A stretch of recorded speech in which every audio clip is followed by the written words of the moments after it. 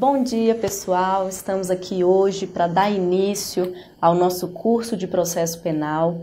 Para quem não me conhece, eu sou Lorena Alves Ocampos, é, sou juíza de direito substituta aqui do TJDFT e dou aula na CPIURES, principalmente na parte de processo penal. E para a segunda fase da magistratura, eu leciono junto com o SAMER a parte de sentença criminal, ok? A gente vai começar hoje a nossa primeira aula de processo penal para a carreira específica da magistratura. Claro que nessas nossas 13 aulas não vai ser possível falar sobre tudo de forma aprofundada, mas nós vamos dar relevância, nós vamos passar por cada tema, dando relevância ali aos aspectos né, mais importantes, mais cobrados em prova de concurso público e principalmente em provas da magistratura. Então, claro, nosso foco não são discussões aprofundadas, discussões acadêmicas aprofundadas, mas sim aquilo que vem sendo cobrado pelas bancas examinadoras na primeira fase, numa segunda fase também, ok? Na nossa primeira aula, claro que a gente precisa introduzir o processo penal. Então, a gente ainda não vai partir para temas com grande incidência na prova. Na verdade, nessa nossa primeira aula, conforme foi planejado pelo nosso plano de estudo, a gente vai falar um pouquinho de introdução, princípios e aplicação da lei processual penal. Nessa introdução, basicamente, ela não cai em concurso, mas é importante a gente visualizar a importância do processo penal para o seu estudo e o porquê, então, que na magistratura você aprende processo penal. Qual a relevância dessa matéria? Então, a gente vai passar por alguns aspectos. Ali, um conceito, uma visão clássica, uma visão mais contemporânea. Vamos passar pelas fontes. A gente vai conversar um pouco sobre essa introdução Claro que não vai ser a maior parte da nossa aula. Depois a gente avança para temas que sim caem em concursos públicos. Por exemplo, a parte de princípios tem alguns bem básicos que basicamente a gente vai falar um pouquinho ali o artigo da Constituição ou o artigo do Código do Processo Penal, mas tem outros que exigem um aprofundamento que a gente vai acabar conversando e ligando com alguns temas de processo penal e vendo alguns enunciados de súmula, já jurisprudências nessa primeira aula. E muitos desses princípios eles vão se repetir ao longo das nossas próximas 12 aulas, para você ver que essa parte principiológica ela tem a sua relevância no seu estudo também. Depois a gente avança para a aplicação da lei processual penal. A aplicação da lei processual penal no espaço não tem muita incidência em prova. Mas a aplicação da lei processual penal no tempo, aí a gente já vê uma maior quantidade de questões. Então a gente vai conversar sobre isso tudo na nossa primeira aula. Se restar tempo, que eu acho muito difícil, a gente já vai avançando ali para outros temas do nosso curso do Mais 18, ok? Mas nessa primeira aula a gente reservou então exatamente esses temas conforme consta no seu plano de estudo. A gente começa a falar é, essa introdução do direito processual penal para a gente começar ali a avançar, a, a, a chegar na, nesses pontos de, de, relevância e nós temos algumas visões a respeito do processo penal. O que, que é esse direito processual penal? Para a gente, então, por que, que você está estudando esse direito processual penal? Então, nós temos uma visão clássica, que é o quê? Um conjunto de atos concatenados, submetidos a princípios e regras, destinados a compor as lides de caráter penal. Sua finalidade é, assim, a aplicação do direito penal objetivo. Ora, vocês estudaram em, em, direito penal, vocês viram a parte geral do direito penal e vocês estudaram ali a parte especial a respeito dos delitos. Nós temos ali delitos que, se o agente praticar, nasce para o Estado, que é o possuidor desse dever de punir, que é o poder de juiz de, do poder dever de punir, que é o chamado jus puniente de exatamente aplicar aquela norma, aquele caso específico e punir aquele agente que praticou aquele ato em desacordo. Agora, como que nós vamos punir? Exatamente pelo Estado ter esse poder, dever de punir, o processo penal é o instrumento para a aplicação desse direito penal. Então, eu tenho vários atos concatenados no procedimento e nós vamos estudar numa aula de procedimento. Procedimento ordinário, procedimentos sumários, procedimentos especiais, o sumaríssimo da 9099, nós vamos ver que são vários atos cronologicamente concatenados que são seguidos e submetidos a regras próprias, submetidos aos princípios constitucionais expressos, implícitos na Constituição e também princípios constitucionais propriamente ditos do processo penal, todos nós veremos hoje, para então se destinar a compor a lide penal. Qual é a lide penal? O dever de punir. O Estado punindo aquele agente. Então, a finalidade é utilizar, a finalidade é o quê? Punir. Então, o processo penal é instrumento para aplicar o direito penal. E, para tanto, nós temos a chamada persecução penal, que é dividida em dois momentos. Nós temos um primeiro momento de persecução penal, que é a fase de uma investigação, em que está se colhendo elementos de materialidade e indício de autoria, ou seja, materialidade de que o crime existiu, indícios de autoria, quem foi o autor daquele crime. Então, nesse momento investigatório, que nós vamos ver que uma das formas de investigação é o inquérito policial, que tem o seu regramento a partir do artigo 4 no Código de Processo Penal, é a primeira fase, um primeiro momento da persecução penal. O segundo momento da persecução penal é a fase da ação penal, do processo criminal. E aí a gente vai ver uma aula própria sobre ação penal. Quais são as espécies de ação penal? Quais as principais características de cada uma? Quais são as principais regras para sua prova? E, uma vez oferecida essa ação penal pelo titular da ação, que pode ser tanto na ação penal privada quanto na pública, e o juiz recebendo essa ação penal, ou uma vez oferecida, vai seguir o procedimento próprio relativo àquela determinada hipótese. Por isso que nós estudamos numa aula própria também a respeito do que? Procedimentos, ordinário, sumário, especiais, sumaríssimo, e temos uma aula própria a respeito disso. Então, na persecução penal nós temos dois momentos, um momento prévio, que é das investigações, um momento posterior, uma vez colhida essa materialidade, esses indícios de autoria, e uma vez formado pelo órgão acusatório, a sua opinião, a opinião delicti que nós chamamos, vai ser oferecida essa denúncia ou queixa-crime, se for na ação penal privada, e se inicia o processo, que é o segundo momento da persecução penal.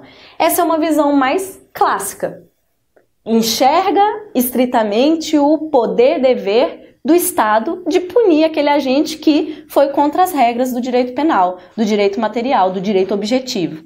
Agora, nós temos uma visão constitucional garantista do processo, que nós chamamos de processo penal constitucional, um processo penal justo também assim chamado, que eu tenho que enxergar o processo penal não só como esse meio de aplicação do direito penal, em que eu me utilizo do processo penal como um instrumento para a concretização daquele poder-dever de punir do Estado. Eu não tenho que enxergar somente dessa, dessa forma. Eu tenho que enxergar o processo penal também como uma forma de proteção daquele indivíduo que está sendo acusado.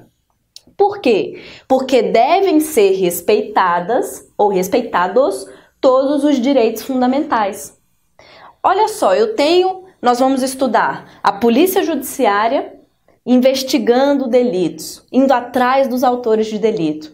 Nós temos ali um órgão acusatório que na ação penal pública é o Ministério Público. Então, uma vez investigado, formada a opinião delicti, tem o Ministério Público para atuar também. Então, a polícia atuou, depois vem o Ministério Público. E depois vem o juiz julgando aquele processo. Todos os órgãos do Estado. Todos é, não é o Estado que tem o poder de dever de punir? Todos atuando com o Estado. O Estado investiga na forma da polícia judiciária, o Estado acusa com o órgão ministerial, se for ação penal pública, o Estado julga por seus juízes ali, federais ou estaduais. No caso aqui, no processo penal.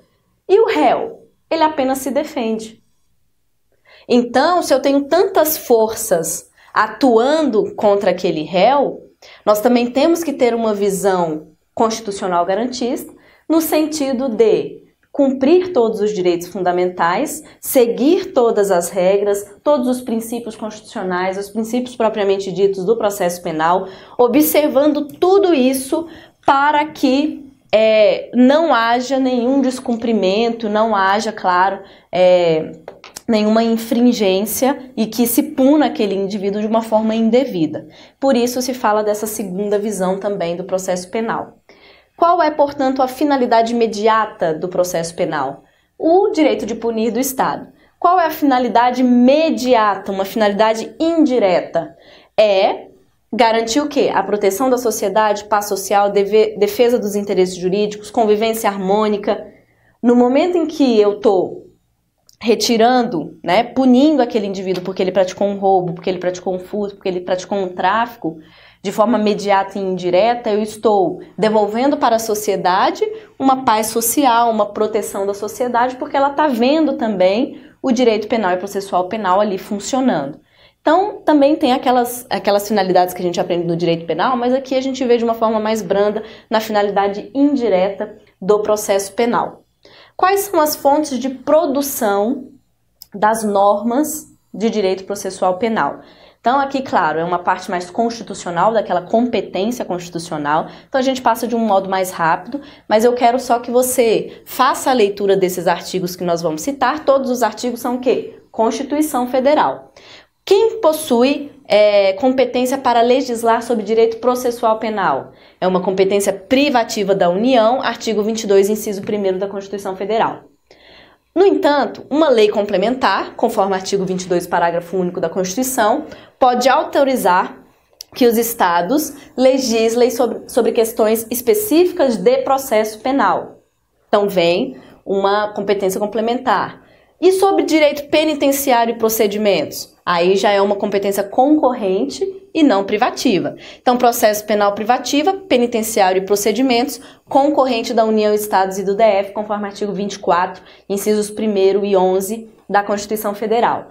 Para legislar sobre organização judiciária nos estados e sobre custas dos serviços forenses, está lá no artigo 24, inciso 4, também é concorrente conforme já que está no artigo 24. Outra atenção, o indulto, a concessão de indulto, que também tem relação com o processo penal e principalmente com a parte da execução penal, já que nós temos o indulto concedido pelo decreto do presidente da República, muito famoso, chamado indulto natalino, todo final do ano. Nós temos, portanto, que lembrar do artigo 84, inciso 12 da Constituição Federal né? E é, lembrar ainda que na parte de medida provisória da Constituição Federal é vedada a edição de medida provisória, tanto de direito penal, conforme você deve ter aprendido lá na parte de direito penal, quanto em direito processual penal, conforme artigo 62, parágrafo 2 inciso 1, a linha B da Constituição Federal. Então, para a gente relembrar um pouquinho da competência constitucional, mas entrando do nosso tema específico de processo penal, grave todos esses artigos e incisos aqui delimitados nesse slide. São as fontes de produção material, a legislar ali sobre as normas. Fonte formal ou de cognição. Eu divido entre fontes primárias, imediatas ou diretas e entre fontes secundárias, mediatas, indiretas e supletivas. Quanto às fontes primárias, imediatas, diretas, o próprio nome está dizendo, eu aplico imediatamente. Ela é direta, ela é imediata. O que, que eu tenho?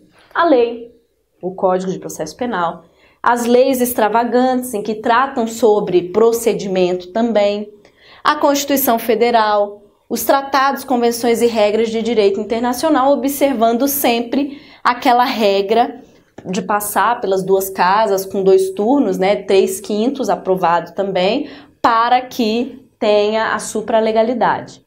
Então, são normas que eu aplico diretamente. Via aquele caso, eu já aplico o Código de Processo Penal. Via aquele caso, eu já aplico a Constituição Federal. Eu aplico de forma direta e imediata. Mas eu tenho fontes secundárias, mediatas, indiretas ou supletivas do direito processual penal. Nós temos os costumes que, para a doutrina, é o que? Regras de condutas que nós praticamos de modo geral, só que de modo geral, de modo constante, de modo uniforme, estamos sempre praticando aquela conduta porque é um elemento interno nosso. Nós temos aquilo como normal, Né? Nós temos o costume de praticar aquela conduta e nós temos a consciência de que devemos praticar aquela conduta. Então há uma obrigatoriedade, por isso, um elemento externo. Cuidado que os costumes não têm o condão de o quê? De revogar as normas. Princípios gerais do direito são premissas éticas extraídas da legislação e do ordenamento jurídico em geral. Está permitido expressamente no artigo 3 que nós vamos conversar. Hoje e na próxima aula, principalmente no comecinho da próxima aula, nós vamos conversar a respeito de interpretação da lei processual penal e vamos ver o que, que está permitido no artigo 3 dentre eles, diz expressamente o artigo 3 que você pode utilizar dos princípios gerais do direito no processo penal. Ou seja, é uma fonte do processo penal. Analogia é uma forma de autointegração da lei, então eu tenho uma lacuna involuntária da lei, eu preciso arrumar uma solução, então eu aplico aquele fato que não foi regulado expressamente, porque tem uma lacuna, eu aplico um outro dispositivo que disciplina uma hipótese semelhante. Se você olhar o artigo 3 ele também autoriza a aplicação da analogia tá? É, ele, ele autoriza a aplicação da interpretação analógica e da analogia. São coisas diferentes? São, mas os doutrinadores interpretam que o artigo 3 e na lei processual penal, no direito processual penal, nós podemos aplicar analogia, interpretação analógica e outras formas de interpretação, como a interpretação extensiva, que nós vamos conversar na próxima aula. Sobre a analogia, quer dizer, primeiro, sobre o artigo 3 como eu citei, veja só, a lei processual penal admitirá interpretação extensiva, aplicação analógica, bem como o suplemento dos princípios gerais do direito. Veja só, interpretação, é, fontes secundárias, não é isso? Princípios gerais do direito e aplicação analógica, que é a analogia. Dentro de analogia, analogia aqui como mera revisão do que nós estamos conversando, porque não é de fato importante para a cobrança em processo penal, nós temos a divisão, a classificação de analogia. Uma analogia legis, em que eu aplico uma situação que já está prevista em lei, então naquela lacuna eu vou suprir com uma lei. Analogia juris, em que eu aplico uma situação prevista pelos princípios jurídicos extraídos de uma determinada norma. Então, eu tenho uma lacuna, eu vou aplicar um princípio jurídico ao invés de da lei. Analogia em bonam partem. Eu apliquei uma situação semelhante em favor daquela pessoa, veio a favorecê-la. Em malam parte, o contrário, prejudicou. A aplicação da analogia no direito penal. Muito provavelmente você viu na sua aula de direito penal que é possível apenas a analogia em benefício do agente, a analogia em bonam partem. Já no direito processual penal, pode-se aplicar tanto a analogia em bonam partem quanto a em malam partem. Então essa é a diferenciação do direito penal que você já estudou para o direito processual penal que nós estamos começando hoje, tá bom? Outro quadro. A analogia não se confunde com interpretação analógica, já respondendo a pergunta acima. Analogia, como nós vimos, eu estou auto-integrando a norma porque eu tenho uma lacuna. Então, eu aplico um regramento jurídico semelhante, seja extraindo princípios, seja uma lei, seja uma norma específica, a um caso em que tem uma lacuna e eu preciso aplicar uma situação semelhante. Então, eu estou auto-integrando. E no processo penal pode ser feito em malam partem ou em bonam partem, já no direito penal apenas em benefício do agente. Quando a gente fala interpretação analógica, eu, como o próprio nome está dizendo, não estou tratando de uma autointegração da norma, mas sim de um modo de interpretar a norma. Estou tratando de hermenêutica. A própria lei autoriza o seu complemento, como nós vimos no artigo 3 também, e é também uma hipótese de preenchimento da norma. Só que a própria lei, o dispositivo legal, ele autoriza essa interpretação. Não há uma lacuna, ou seja, nada está dito, e eu me utilizo de um caso semelhante. Não. A lei, ela não conseguiria prever todas as hipóteses.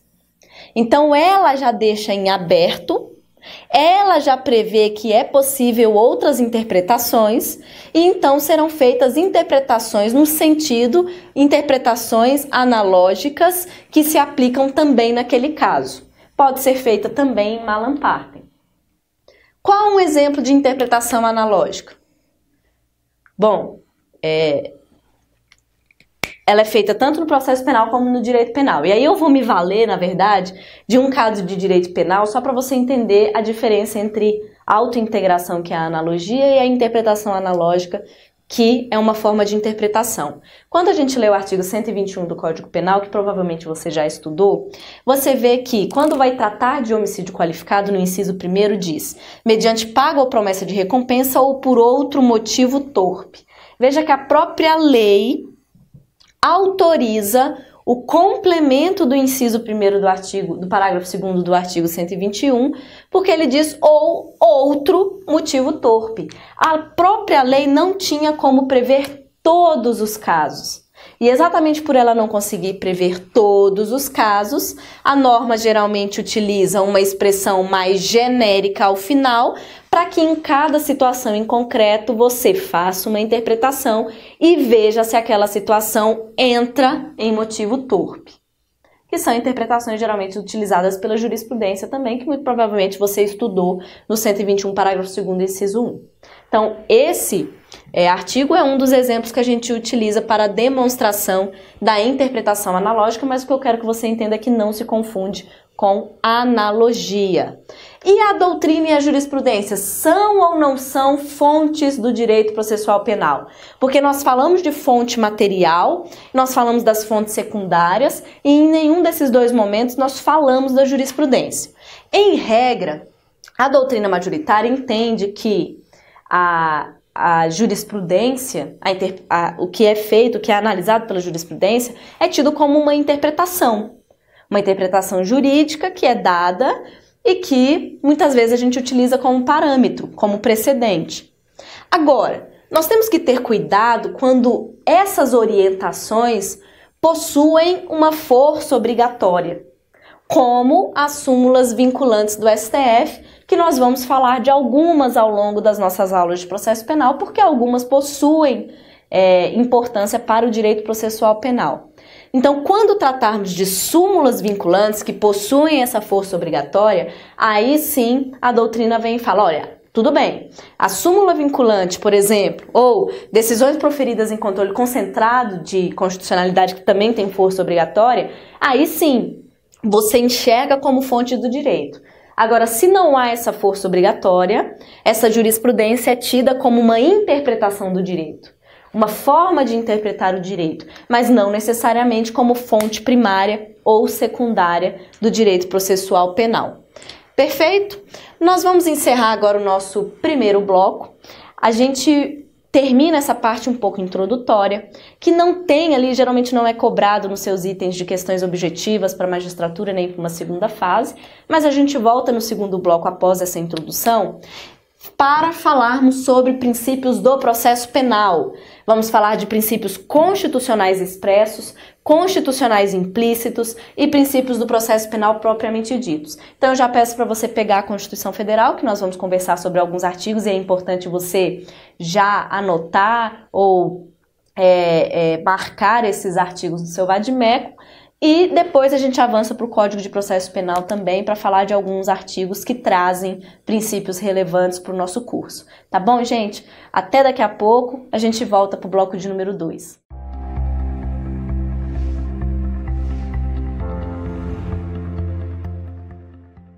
Bom, pessoal, voltando para o nosso bloco de número 2, a gente entra então em princípios do processo penal. A gente divide essa parte de princípio em três grandes frentes que foram as que eu expliquei no final do bloco passado, que é exatamente princípios constitucionais expressos, ou seja, nós temos o fundamento expresso na Constituição Federal e, portanto, eles estarão anotados no slide. Nós temos princípios constitucionais implícitos, ou seja, nós retiramos o fundamento da Constituição, mas ele não está ali é, em um artigo constitucional, mas são princípios implícitos relevantes para o nosso processo penal. E por fim, nós temos princípios do processo penal propriamente ditos e provavelmente a gente vai tratar do quê? De artigos do Código de Processo Penal que trazem, que são extraídos princípios jurídicos, uma parte principiológica que nós também temos que estudar. Principalmente nessa parte aí de princípios constitucionais implícitos e do processo penal propriamente dito, a gente vai já hoje falar de alguns princípios que nós vamos voltar a ver em determinados temas. Então você vai ver que a gente vai falar de alguns princípios que são aplicados lá na parte de prova do processo penal, que são aplicáveis lá na parte de ação penal, no processo penal. Então a gente vai falar um pouquinho hoje e depois a gente aprofunda na aula específica. Só para também é, esclarecer. A gente colocou essas três frentes em três quadros. Alguns livros fazem dessa forma, até porque são muitos princípios. Capaz da gente falar aqui de uns 40 princípios hoje, para você ver o tanto de princípio que pode ser cobrado na sua prova, né? Nesse item de princípios do processo penal. E aí a gente começa, portanto, de princípios constitucionais expressos: presunção de inocência, igualdade processual, ampla defesa, plenitude de defesa, indúbio pro réu, contraditório, juiz natural, publicidade, vedação das provas ilícitas, economia processual, celeridade processual e duração razoável do processo, devido ao processo penal ou devido ao processo legal e intranscendência ou pessoalidade. Aí agora a gente passa um a um para ver aí o que é que você está lembrando e o que é que você tem que guardar de importante para sua prova. Quando a gente fala de presunção da inocência, está lá na Constituição Federal, ninguém será considerado culpado até o trânsito em julgado da sentença penal condenatória. Então, na parte teórica do princípio da inocência, que é o que a gente vai ver agora, claro que daqui a pouco a gente vai partir para uma parte é, da jurisprudência, que é muito importante, porque nós tivemos aquela virada da jurisprudência a respeito principalmente da execução provisória da pena, que foi uma virada a partir de janeiro de 2016 e vem então saindo em vários informativos julgados a respeito da presunção de inocência e da execução provisória da pena, né? Mas primeiro uma parte teórica. Nessa parte teórica, veja, a presunção da inocência é um dever de tratamento. Eu tenho que tratar aquela pessoa como se fosse inocente. Então, se prevalece que a pessoa só é considerada culpada quando ela é condenada definitivamente, ou seja, por via contrária, se ela ainda não foi condenada definitivamente, eu vou ter o dever de tratá-la como inocente, não como culpada. Isso traz algumas consequências para o processo penal. Algumas dimensões, algumas visões internas ao processo penal de como tratar aquela pessoa no processo penal, já que ela é considerada inocente, e uma visão externa ao processo penal, mas que é importante a gente conversar também. Nessa visão interna, veja, eu tenho ali três, é, na verdade, quatro principais características. Primeiro, tem um dever da acusação. A acusação tem o ônus de comprovar que o réu praticou aquele delito. Então, se o Ministério Público ofereceu denúncia contra o João porque ele praticou um roubo, o João, ao longo do processo, ele é considerado inocente. Então, não é o João que comprova a inocência dele, é a acusação que tem o dever de comprovar que o roubo existiu e que o João praticou o roubo. Então, é um dever da acusação demonstrar os elementos que comprovem que o acusado é culpado. Segundo momento, a dúvida conduz a quê? A absolvição. Se durante todo o processo o Ministério Público não conseguiu comprovar de forma cabal que o João praticou o roubo e o juiz, ao chegar o processo para ele, está na dúvida, ele deve absolver, dúvida pro réu. Por quê? Porque o João, ele é presumido inocente. Então, se a acusação, que tinha o dever de comprovar os elementos para condenar o João, não conseguiu e permaneceu a dúvida, então ele deve ser absolvido. Terceiro, prisões cautelares. Se a regra é considerar inocente, eu não vou utilizar a prisão, que é a medida cautelar pessoal mais gravosa e que, portanto, nós chamamos de última rácio, eu não vou utilizar a prisão como regra. Eu não devo prender em qualquer caso. Eu tenho estabelecidas algumas regras já no Código de Processo Penal. Mas mesmo numa situação que em tese poderia ser cabível à prisão, eu posso tentar aplicar ali outras medidas cautelares pessoais diversas da prisão que nós temos no código e nós vamos estudar, exatamente porque a prisão é a última. Não é isso? Exatamente como um viés da presunção da inocência, a prisão deve ser tratada como exceção. Assim como não só a prisão, mas outras medidas constritivas de direitos individuais, como quebra de sigilo bancário, quebra de sigilo fiscal, interceptação telefônica, mandado de busca e apreensão, medidas constritivas que devem ser utilizadas como exceção. Tem que ser conferido ali muito bem os seus requisitos para que ela seja deferida, porque ela é uma exceção. Uma dimensão externa da presunção de inocência é a mídia não pode fazer um julgamento sobre o processo. Não é incomum a gente ver é, notícias jornalísticas falando sobre determinado delito e meio que já passando uma imagem de que aquela pessoa é culpada, que foi ela que praticou aquele delito, ela que matou aquela pessoa, ela que assaltou aquela pessoa, ela que jogou a pessoa. Então, assim, é, mas ainda está numa fase da investigação, ainda está numa fase de julgamento, de processo em que prevalece o princípio da presunção da inocência. Então a mídia também exerce um papel muitas vezes contraditório ao princípio da presunção da inocência, porque há uma exposição sobre aquele réu no processo ou aquele investigado que faz com que a sociedade já crie um, um preconceito sobre aquela determinada situação, considerando que na verdade ele deve ser condenado por aquela situação. Tá? Então essa é uma visão mais teórica. Agora, é, nós temos um ponto importante da presunção da inocência, que é a questão da execução provisória da pena. A execução provisória da pena, ou seja, executar provisoriamente um acórdão penal condenatório, que foi essa condenação confirmada em segunda instância, não ofende o princípio da presunção da inocência, é o que vem sendo decidido pelo STJ e STF. Qual é a situação prática para a gente visualizar? Apesar de ser um tema que está sendo tão falado, que você já deve é conhecer bastante sobre o que nós estamos falando aqui. Vamos supor que eu sou juiz aqui na Vara Criminal de Brasília. Eu estou condenando o João no delito de roubo a uma pena de 5 anos de reclusão. A defesa recorreu. Chegou o meu processo lá no TJDFT, numa turma ou numa câmara ali no TJDFT. Mas os desembargadores confirmaram, falaram assim: realmente foi o João, nós estamos confirmando a condenação do João. A partir daquele momento da confirmação dessa condenação de cinco anos de reclusão do João, na segunda instância, o que, que ele poderia fazer para recorrer? Um recurso especial para o STJ, um recurso extraordinário para o STF. Então, exaurido o duplo grau de jurisdição, ele só tem essas possibilidades, ele não tem a possibilidade de outros recursos. Nós só temos esses recursos constitucionais, que nós sabemos que não possuem efeito suspensivo ok? Então, como que STJ e STF vem interpretando? Uma interpretação feita exatamente desse inciso do artigo 5 da Constituição Federal. Tem-se feito uma interpretação do artigo 5 com tratados e convenções internacionais, dizendo, olha, é, uma vez respeitado o duplo grau de jurisdição e determinada execução provisória da pena, nós não estamos de, é, descumprindo esse preceito constitucional da presunção da inocência porque o duplo grau de jurisdição foi cumprido.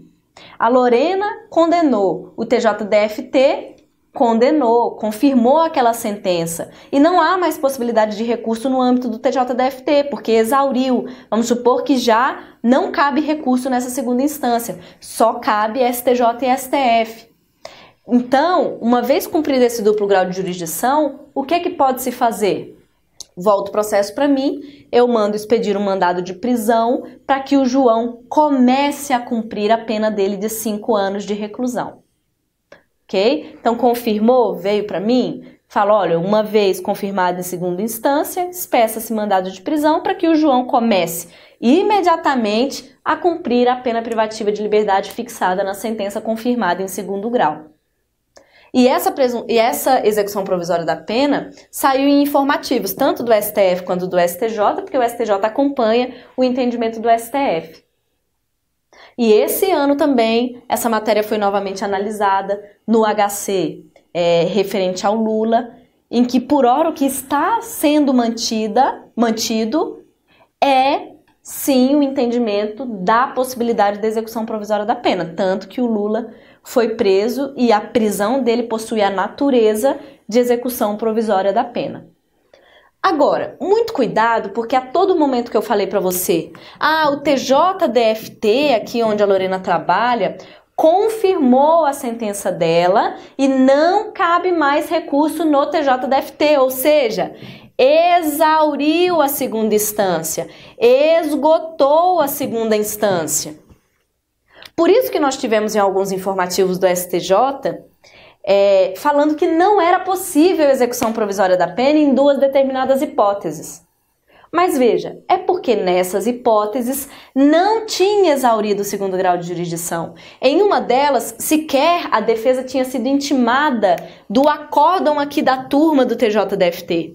Então eu condenei o João, a turma confirmou, mas é, teve o julgamento, mas as partes sequer foram intimadas a respeito desse acórdão penal condenatório. Ou seja, não exauriu, não esgotou a segunda instância. Dessa forma, ainda não é possível a execução provisória da pena. Avançando, tudo bem, teve o julgado aqui na turma. As partes, defesa e MP, foram intimados. Mas a defesa opôs embargos de declaração. E esses embargos de declaração estão pendentes de análise. É possível executar provisoriamente a pena?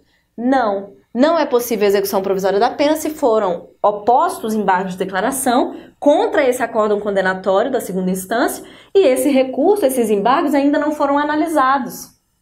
Até porque nós sabemos, seja é, no âmbito processo penal, mas de outro, do, do processo civil também, que os embargos de declaração possuem ou podem possuir efeitos infringentes. Então, vai que a defesa alegou alguma coisa aqui que altere esse julgado na turma do TJDFT. Então, se não houve ainda a análise de embargos declaratórios, não há possibilidade de execução provisória da pena.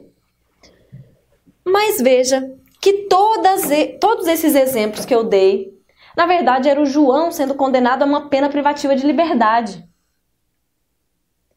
Veja que eu não falei sobre pena restritiva de direitos. Muito provavelmente na sua aula de direito penal, você aprendeu o artigo 44 do Código Penal. Lá no artigo 44 do Código Penal, ele fala a respeito das penas restritivas de direito. Em que? Vamos supor que agora é o Pedro. O Pedro, ele respondeu por um furto. E no furto ele foi condenado a dois anos de reclusão.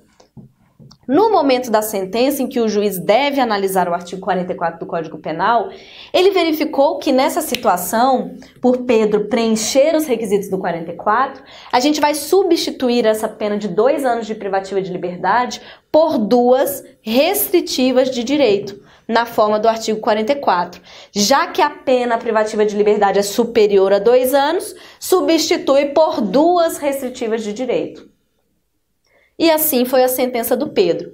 A sentença do Pedro subiu para a turma do TJDFT e lá eles confirmaram a condenação. Falaram: Pedro, você está condenado no furto qualificado a dois anos de reclusão, pena privativa de liberdade substituída por duas restritivas de direito. Uma vez confirmada a sentença, o processo voltando para mim, eu já posso determinar a execução provisória da pena restritiva de direitos do Pedro? Não. Porque todo esse entendimento que a gente viu até agora é para pena privativa de liberdade. Quando se tratar de pena restritiva de direitos, a terceira sessão do STJ já decidiu pela impossibilidade, impossibilidade de execução provisória da pena. Ela faz uma distinção. Na pena privativa de liberdade pode se executar provisoriamente. Na pena restritiva de direitos não pode, deve se aguardar o trânsito em julgado da condenação. E aí você pode ler a ementa desse acórdão, foi onde tudo começou. Depois vieram várias outras decisões, inclusive noticiadas, mantendo esse entendimento. Mas aqui, como é da terceira sessão, é um entendimento importante para nossa prova. E por fim, execução provisória da pena no tribunal do júri. Aqui talvez seja um momento ainda inicial para a gente falar sobre o Tribunal do Júri. Nós vamos ter uma aula própria de Tribunal do Júri, em que nós vamos conversar sobre todas as fases e sobre institutos próprios do Tribunal do Júri. Nós temos, por exemplo, um instituto que é o chamado desaforamento. Se você já tiver curiosidade de ver, o artigo 427 e 428 trata a respeito do instituto. Eu posso ter causas em que eu vou ter que retirar o plenário do tribunal do júri, onde o réu é julgado pelos jurados, e vou ter que enviar para outra comarca por alguns motivos colocados no Código de Processo Penal. Vamos supor que eu sou juíza aqui no Tribunal do Júri de Brasília e eu recebi por competência territorial uma competência, a minha competência é para esse processo aqui do José, que praticou um homicídio qualificado. O processo foi distribuído para mim porque o José praticou um homicídio aqui no plano, aonde é da competência do meu Tribunal do Júri de Brasília. Tudo bem. Ok. Mas por um desses motivos aqui, do 427 e 428, não é possível realizar o plenário do Tribunal do Júri em Brasília. Eu vou ter que mandar esse processo para ser realizado um pouco mais longe daqui. Dando outro exemplo, eu estou lá no interior de Minas, numa comarca. Lá, por algumas questões de segurança, uma comarca muito pequena, em que aquele réu já é conhecido por toda a população, a população tem muito medo dele, ele já praticou vários crimes. E assim a gente desafora daquela comarca lá em Minas Gerais para outra comarca para realizar o julgamento, exatamente por esse motivo. O julgamento foi feito aqui. Depois o tribunal, na turma, confirmou essa condenação do José. Quem que determina o desaforamento? Eu, juíza da comarca que recebi o processo por competência territorial ou o juiz que realizou o plenário porque o processo foi desaforado? Quem determina a execução provisória da pena sou eu, a juíza originária daquele feito, que recebeu a competência originária daquele feito. Porque o desaforamento é apenas para a realização do plenário. Apenas. Todas as demais providências serão feitas pelo juiz que recebeu a competência inicial daquele processo. Avançando, agora alguns princípios um pouco mais objetivos. Igualdade processual ou paridade de armas. As partes elas possuem as mesmas oportunidades, então são asseguradas às partes os mesmos direitos, as mesmas possibilidades de alegação, de prova, de impugnação. Isso é uma consequência direta do princípio de que o réu ele não se defende sozinho, né? Ele, ele tem que ter é, uma habilitação. Por exemplo, a gente vai falar do princípio da ampla defesa. Na parte da acusação, se for uma ação penal pública, nós temos o Ministério Público. Na parte do réu, nós temos a defesa técnica. Nós falamos em autodefesa, mas nós falamos em defesa técnica. Ambas as partes possuem as mesmas possibilidades já que temos a paridade de armas. Então, se está no momento de produção de provas, elas terão as mesmas oportunidades. Se está no momento de apresentação de alegações finais, terão as mesmas oportunidades. Não. Então, tem que apresentar alegações finais orais? Então tá. Aqui tem 20 minutos mais 10 minutos. Aqui tem 20 minutos mais 10 minutos. O mesmo tempo para esse é o mesmo tempo para esse. Então, são as idênticas possibilidades de alegações, de provas, de impugnações, para que não haja é, uma diferença nessa relação. Elas têm que ter as mesmas oportunidades. Princípio da ampla defesa. Nós acabamos de falar que o réu ele deve ser defendido por uma defesa técnica. Uma defesa técnica que ou ele é advogado habilitado e quer se defender, então na mesma pessoa vai estar autodefesa e defesa técnica, ou ele vai constituir um advogado para ele, ou se ele não constituir advogado e não possuir habilitação, o juiz vai nomear uma defesa para ele, seja enviando os autos para a Defensoria Pública, seja mandando os autos para o núcleo de prática jurídica para atuar naquele processo. Então, dentro da ampla defesa, que é um princípio constitucional, no âmbito do processo penal nós dividimos na defesa técnica que é essa habilitação técnica por um advogado, em autodefesa, que é a defesa realizada pelo próprio réu. Quando a gente fala de defesa técnica, nós temos que a defesa técnica, ela é indispensável no processo penal. Ela é imprescindível. Não tem como um réu ser julgado sem defesa no processo penal. Isso nós retiramos da leitura do 261 e do 263. Olha o 261. Nenhum acusado, ainda que ausente ou foragido, será processado ou julgado sem defensor. Tem que ter defesa técnica sim. Não tem como realizar uma audiência sem defesa técnica. Não tem como um réu ser, ju ser julgado sem ter um advogado em prol dele. Claro que quando eu falo defesa, é o genérico, né? Pode ser ele, porque ele é advogado e está atuando em causa própria. Pode ser um advogado de confiança dele que ele constituiu por procuração, ou pode ser uma defesa nomeada pelo juiz como a defensoria pública. Mas tem que ter defesa. E como eu citei, o acusado, ele pode se defender se ele tiver habilitação. Olha o 263. Se o acusado não tiver ser-lhe-á nomeado defensor pelo juiz, ressalvado seu direito de a todo tempo nomear outro de sua confiança ou a si mesmo defender-se caso tenha habilitação. Então ele pode se defender se for habilitado. Então vamos supor, a gente vai ver isso no procedimento ordinário, mas ó, a denúncia foi recebida.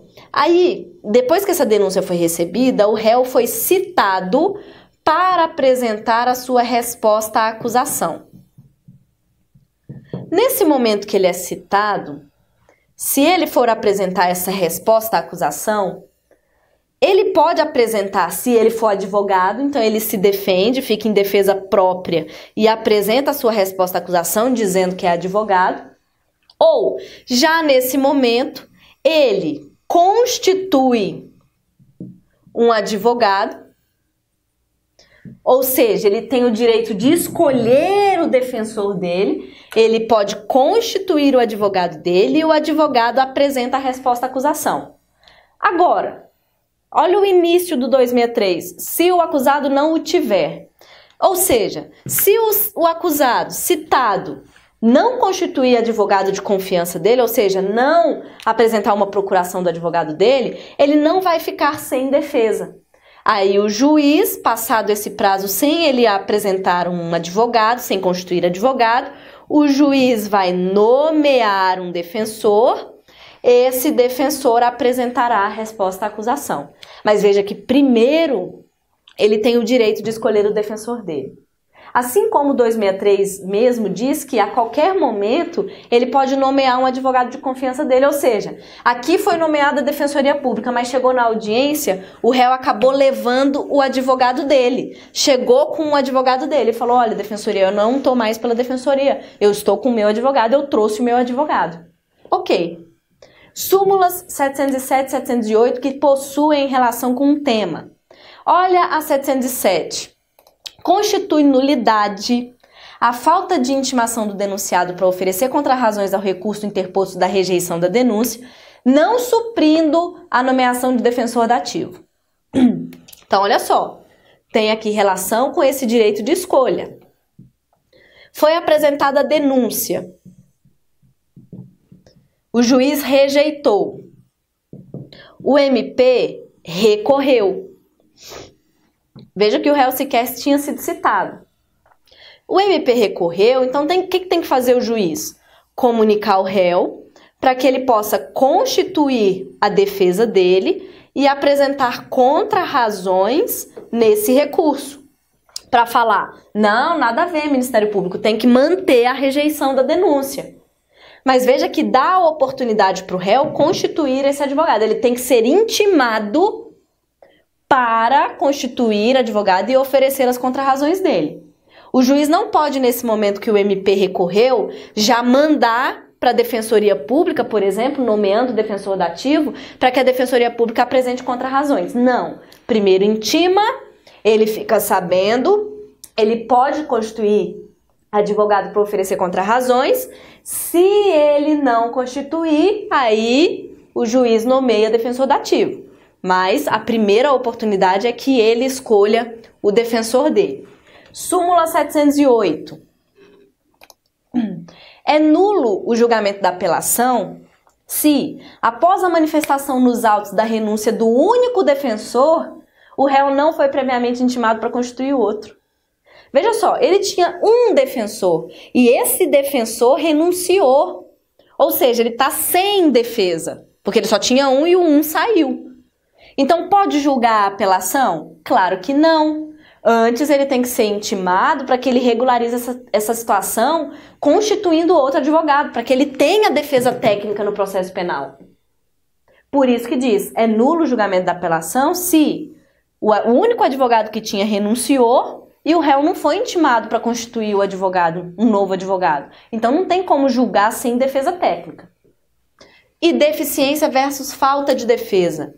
Na súmula 523 diz: a falta da defesa é nulidade absoluta, mas a deficiência é nulidade relativa, em que tem que demonstrar prejuízo. Mas veja, nós acabamos de comentar que defesa técnica é indisponível, é irrenunciável, é necessária, é indispensável no processo penal. Se ela é indispensável e o réu não tem defesa, é lógico que o processo é nulo de forma absoluta, porque é necessária a defesa. Agora, se ele tem advogado, ok. Agora a defesa está se mostrando deficiente. Aí calma. Aí a gente tem que ver. Essa deficiência da defesa está gerando prejuízo para o réu? Sim. Ah, então vai declarar nulidade. Não, não está causando prejuízo. Então não tem que se declarar nulidade. Ou seja, depende da comprovação de prejuízo, portanto, é uma nulidade considerada relativa. Muita atenção com essa súmula 523, ela cai muito em prova, muito mesmo, ok? Principalmente em prova objetiva. Tudo bem, nós falamos da defesa técnica. Agora nós temos a autodefesa. A autodefesa, como eu falei, é exercida pelo próprio réu. Ele se autodefende. Agora, ao contrário da defesa técnica, que é indispensável, a autodefesa é renunciável, é disponível. O réu pode ser que ele não queira ir para a audiência. O réu pode ser que ele não queira falar no interrogatório. Dessa forma, ele está abrindo mão de se defender. Então, ele está renunciando à sua autodefesa. Veja que dentro do direito de audiência é exatamente ele poder comparecer aos atos processuais. Se uma testemunha vai ser ouvida, ele vai ser intimado. Então ele pode ir lá na audiência. Então ele está exercendo o direito dele de presença, na verdade, né? De presença, de estar presente. O direito de audiência de ser ouvido. Então veja, tem a audiência. Ele foi intimado na questão da testemunha. Então ele pode estar presente, direito de presença. Mas logo depois, vamos supor, na próxima audiência, ele vai ser ouvido no momento do interrogatório. Então ele tem o direito de ser ouvido, o direito de audiência. Mas pode ser que ele exerça falando no interrogatório, como pode ser que ele abra mão e fique em silêncio no interrogatório, que isso não vai causar prejuízo a ele. Então ele pode abrir mão do direito de audiência pulando para a capacidade postulatória autônoma. Dentro da autodefesa, alguns doutrinadores, como Renato Brasileiro, ele fala a respeito dessa capacidade postulatória autônoma. Em alguns é, institutos do processo penal, como HC, o agravo de execução, ou propriamente lá na execução penal, o próprio réu, sem possuir capacidade postulatória, ele pode pedir. Ué, o próprio réu ele não pode impetrar HC? Pode. O próprio réu ele pode pedir, mandar uma petição para o juiz lá da execução penal. Então, o próprio réu, na autodefesa dele, ele tem a capacidade postulatória autônoma, que independe de outra pessoa, que independe de advogado. Então, além do direito de audiência, nós temos o direito de presença e temos a capacidade postulatória, esses três momentos relativos à autodefesa, ok? Vou encerrar com você o segundo bloco. A gente ainda vai falar desses dois momentos, artigo 217 do CPP e da súmula 522, tá bom? A gente volta daqui a pouco. Bom, pessoal, voltamos. Ainda restou aqui para a gente conversar nesse slide a respeito do artigo 217 e da súmula 522 do STJ. No 217, eu vou ler aqui com vocês, veja só o que diz. Se o juiz verificar que a presença do réu pode causar humilhação, temor, sério constrangimento a testemunho ou ofendido, de modo que prejudique a verdade do depoimento, fará a inquirição por videoconferência e somente na impossibilidade dessa forma determinará a retirada do réu, prosseguindo na inquirição com a presença do seu defensor. Então vamos supor que nós temos um processo de, de vamos supor, roubo consumado e um roubo bem grave, com restrição de liberdade da vítima, com emprego de arma, concurso de agentes, etc. No momento que nós fomos ouvir a vítima na instrução processual, a gente pergunta para ela: você é, se importa de ser ouvida na frente do réu? Porque senão ele também vai ficar na sala de audiência.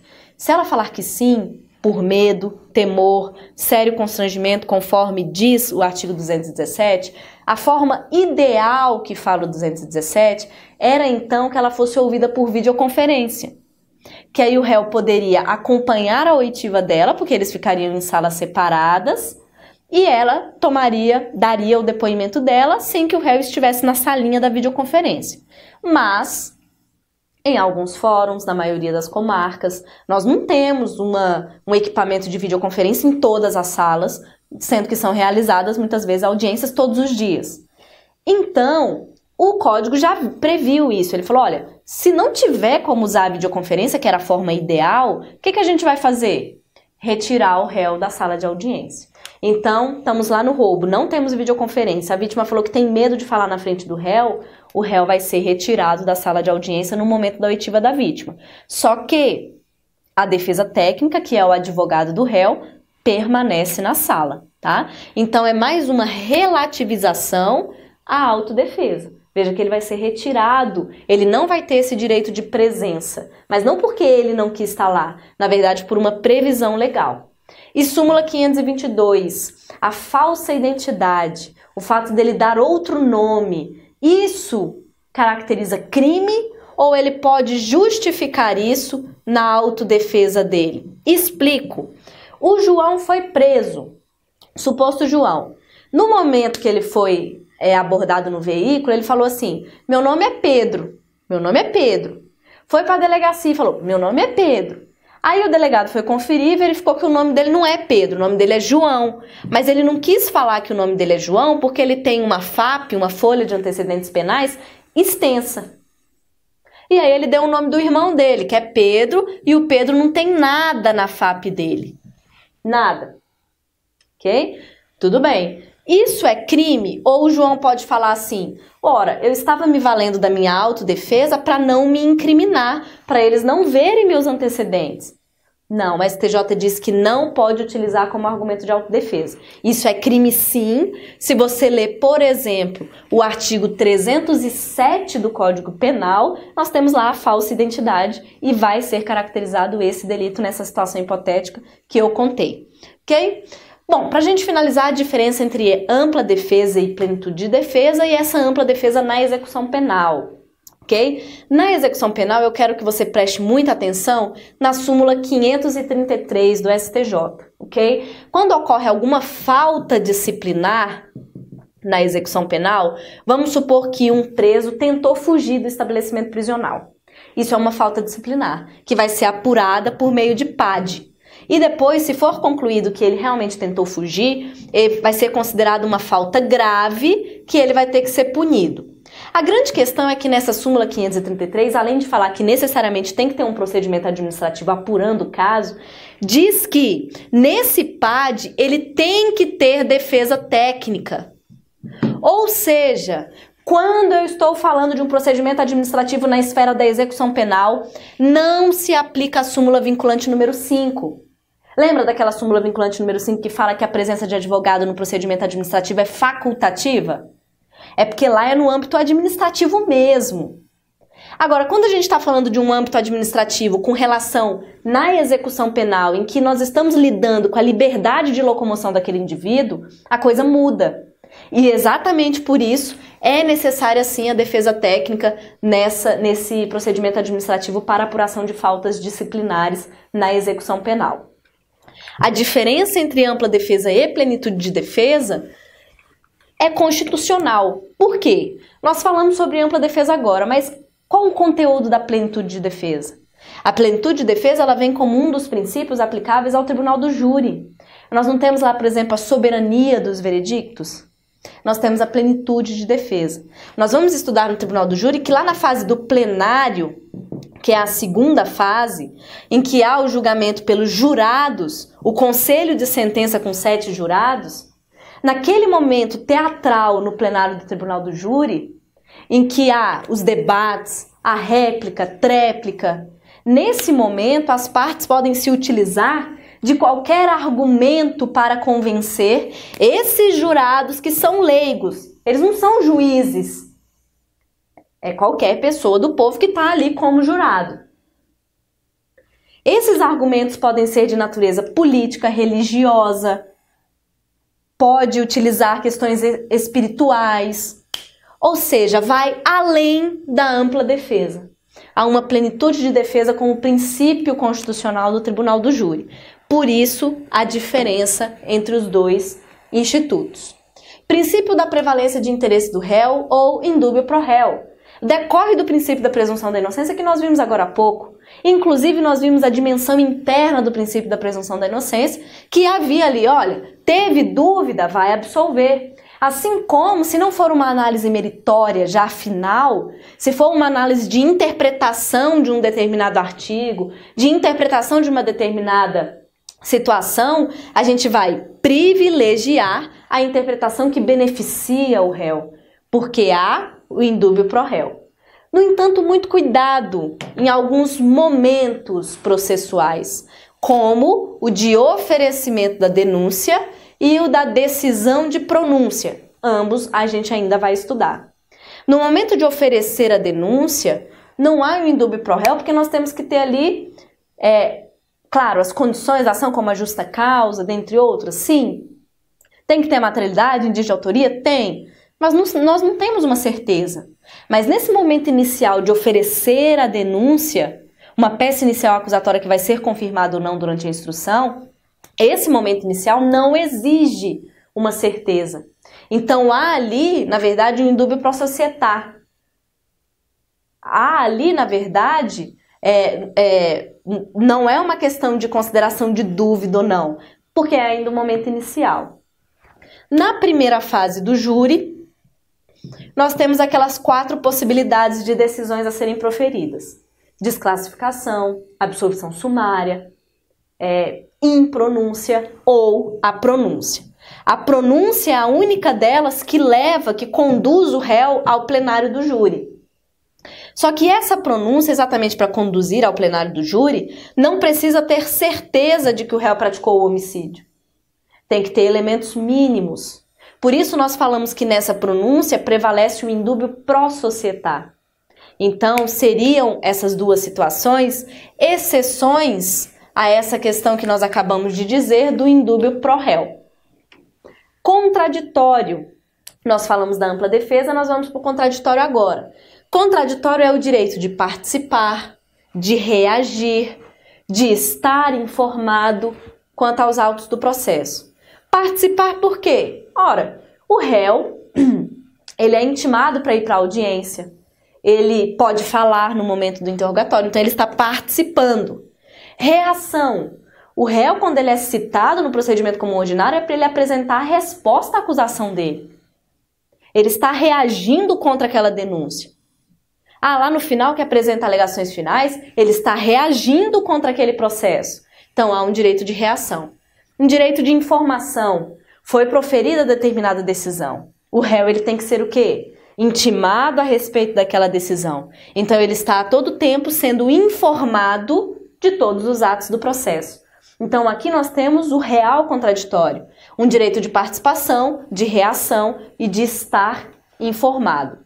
Ele deve ser informado sobre fatos e provas, ele deve se manifestar sobre fatos e provas, ele deve intervir efetivamente nessa convicção do juiz. Afinal, ele vai saber de tudo, vai poder se manifestar, reagir, participar, estar informado e dessa forma ele vai também ajudar no convencimento do juiz. Muito cuidado com a diferenciação entre contraditório imediato, direto real e contraditório imediato, diferido ou postergado. Quando a gente fala de contraditório imediato, direto, é porque o contraditório está sendo exercido no momento da produção da prova.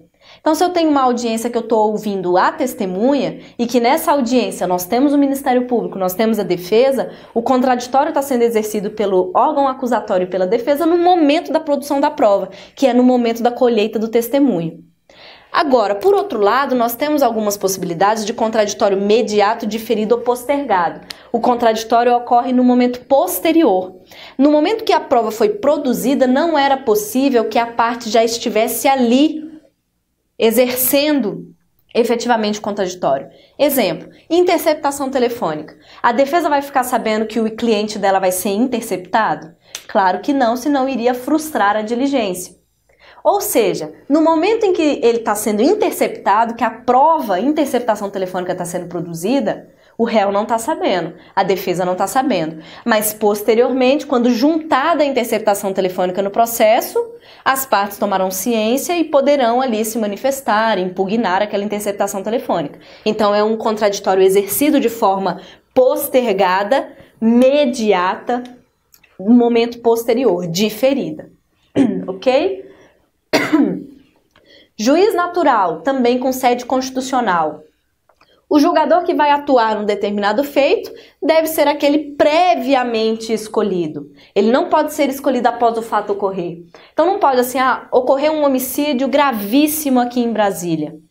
Hum, nós sabemos que o juiz tal é muito rigoroso, é firme. Vamos colocar esse juiz para julgar o homicídio que ocorreu aqui em Brasília. Isso não é possível. As atribuições, as competências já estão previamente estabelecidas. Ocorreu um crime em Brasília. Esse processo vai ser distribuído para o Tribunal de Júri de Brasília. Qual o juiz que está lá no Tribunal do Júri de Brasília? Ah, é a Lorena que está no Tribunal do Júri de Brasília. Então é a Lorena que vai julgar. Então já está tudo previamente estabelecido quando o crime foi praticado. Não há possibilidade de escolher um juiz como forma de exceção para o julgamento daquele determinado caso. Além do juiz natural, tem que ser garantido também um juiz imparcial, isento, impedindo, sendo, portanto, impedido um julgamento é, arbitrário, de exceção ou parcial. Mas por hora a gente verifica o juiz natural. Depois a gente vai falar um pouquinho sobre impedimento e suspeição de juiz também. Cuidado com a jurisprudência. A redistribuição de feitos decorrentes da criação de uma nova vara, mas com idêntica competência, com a finalidade de igualar acervos dos juízos e essa redistribuição dos processos não viola o princípio do juiz natural. Então vamos supor que eu tenho uma única vara aqui em Brasília, uma única vara criminal que está com 10 mil processos nossa, a gente precisa criar outra vara criminal. Foi criada, essa daqui está com 10 mil, foi criada a segunda vara criminal de Brasília. Bom, aqui está com zero, aqui está com 10 mil. Meu Deus, a gente precisa igualar essas varas que possuem uma idêntica competência, mas a gente precisa, por hora, igualar esses acervos. Ah, não, então a gente acertou entre os juízes, nós vamos redistribuir alguns feitos daqui para essa vara. Tem problema? Não tem problema, não fere o juiz natural, decidiu o STJ. Convocação excepcional de juízes de primeiro grau para integrar câmaras julgadoras não ofende juiz, é, o princípio do juiz natural. Vamos supor que lá na turma criminal, na segunda instância, vários desembargadores estão saindo de licença, ficando afastados e não tem muito substituto. Aí o que, que o tribunal está fazendo? Convocando aqueles juízes mais antigos, mas que ainda são juízes de primeiro grau, para atuar na ausência desses desembargadores. Uma convocação excepcional. Isso fere o princípio do juiz natural? Também não. Não fere. Publicidade. Na publicidade, nós temos um artigo constitucional, por isso ele é constitucional expresso, mas também temos redações importantes no Código de Processo Penal. Então você vai ler o artigo 5 da Constituição, o artigo 93 da Constituição e o artigo 792 do Código de Processo Penal. Veja que a regra é a publicidade ampla, publicidade geral, publicidade plena. As partes saberão da decisão que foi tomada. As partes poderão participar da audiência.